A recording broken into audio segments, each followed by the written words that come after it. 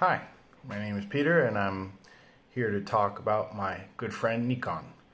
Uh, in the time that I've spent with Nikon, uh, in my opinion, um, what I've seen is that he has a real passion and, and talent for connecting with people, uh, for understanding them, um, helping them, recognizing them uh, as they are, um, having a really deep sense of, of empathy and understanding for people uh, and how they how they are and how they operate uh, both internally and externally, so to speak.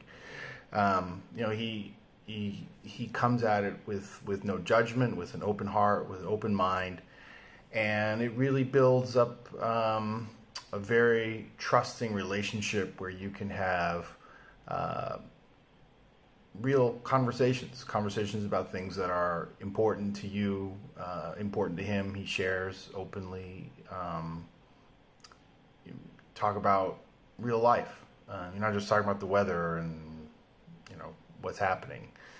Uh, you're, you're, talking about things that that impact you and, and, and how they impact you, and ultimately um, it builds up a very trusting relationship.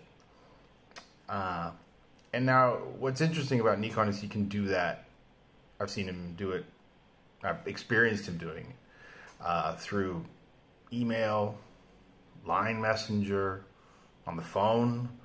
Um, that's a really impressive talent uh, to be able to connect with people in such a wide variety of ways. But in person, um, you know that that ability that Nikon has, that talent that he has for connecting with people and and really helping and, and creating that trusting relationship and really um, having people kind of go on a journey together with him um, in terms of exploring, you know, what what's really going on, is uh, in person. That's you know it's multiplied by twenty. you know, it's it's it's it's it's you know as it is with most people in person. It's it's more powerful. It's more present. Um, and again, Nikon can do all these things better than better than anyone else that I've ever met, just on the phone. But again, in person, there is something something even more um,